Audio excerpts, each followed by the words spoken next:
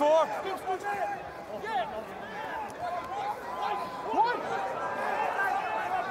Mark Prince.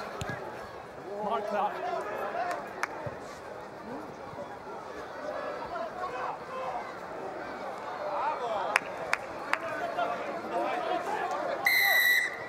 This man here, number 15,